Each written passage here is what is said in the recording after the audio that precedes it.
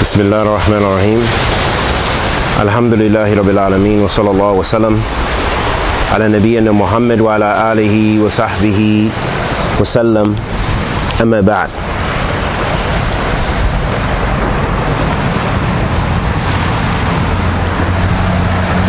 Continuing on our entreaties, Aqidat al-Wasitiyah, Shaykh al-Islam said, after mentioning those divine, the important principles related to uh, Allah subhanahu wa ta'ala's divine names and attributes. Shaykh al-Islam said, وَقَدْ دَخَلَ فِي هذه الجملة ما وصف الله به نفسه في سورة الإخلاص التي تعد ثلث القرآن حيث يقول So Shaykh al-Islam said, and that Surah Al-Ikhlas fits into those verses which entail both negating and aff- affirming Allah subhanahu wa ta'ala's divine na- names and attributes. And that it is considered a third of the Quran because of what it contains in Tawheed and its greatness as an ayat. And Allah subhanahu wa ta'ala, and then the Shaykh said, in the as Allah subhanahu wa ta'ala says, قال سبحانه وتعالى في كتابه الكريم قل هو الله أحد الله الصمد لم يلد ولم يولد ولم يكن له كفوا أحد Here Allah subhanahu wa ta'ala orders and says, say, said to the Prophet sallallahu alaihi wasallam. He said, say, Allah is one. He is a samad. You know, he is every creature is dependent upon Allah subhanahu wa ta'ala. He is not begotten nor was he begotten. And there is none comparable or like unto him.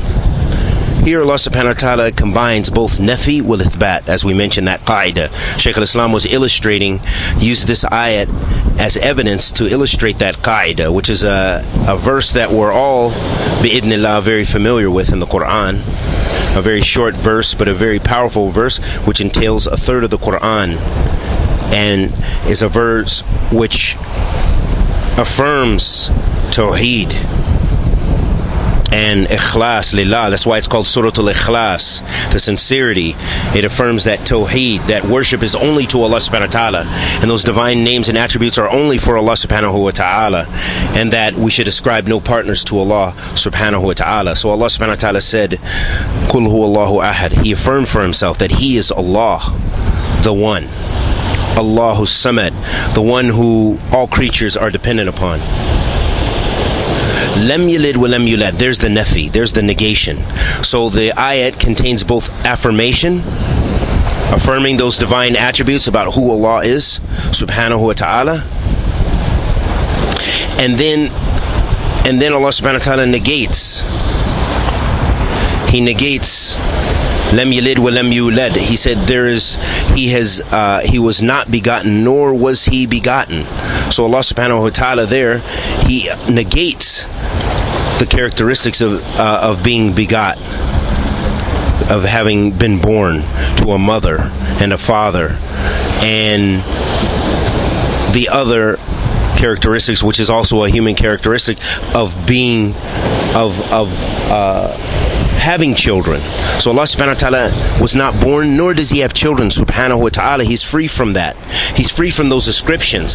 However, there are those groups, the Christians, who affirm and believe the exact opposite of what Allah negated for himself, that he has a son or that he has partners uh, in his worship. They say that Allah subhanahu wa ta'ala is uh, the Father, the Son, and the Holy Spirit. This is what the Catholics claim in some of the Christian sects. Or that Allah is the Father, or Allah is the Son. Yeah, various, various uh, deviations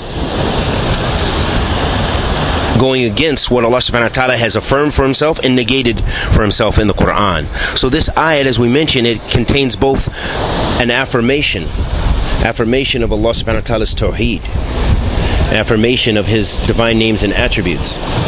And it negates that Allah subhanahu wa ta'ala has a son or a daughter or that he was begot, that he was born or that he gave birth, subhanahu wa ta'ala.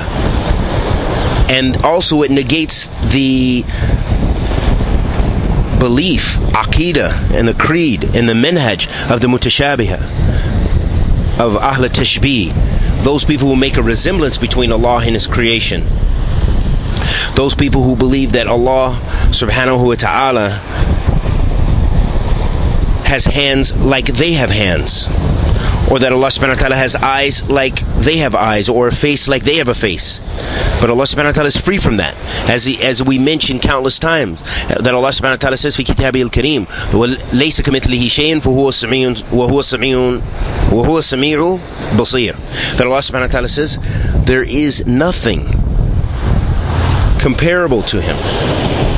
وهو سميع al-basir and he is the all-hearing the all-seeing so Allah subhanahu wa ta'ala again there's nafi and there's ithbat there Allah subhanahu wa ta'ala negates that there's anything like him anything that resembles him and then he affirms for himself his divine names and attributes like being the all-seeing and the all-hearing subhanahu wa ta'ala so Allah ta'ala is the only one worthy of worship. He's the only one who possesses those divine names and attributes that we should call upon him and worship him by subhanahu wa ta'ala. And we ask Allah the Almighty to accept our good and forgive our evil. Anything I said that was correct was from uh, Allah subhanahu wa ta'ala. Anything I said that was incorrect was from myself and the shaitan. Wa sallallahu wa sallam ala nabiyyina Muhammad wa ala alihi wa sahbihi wa sallam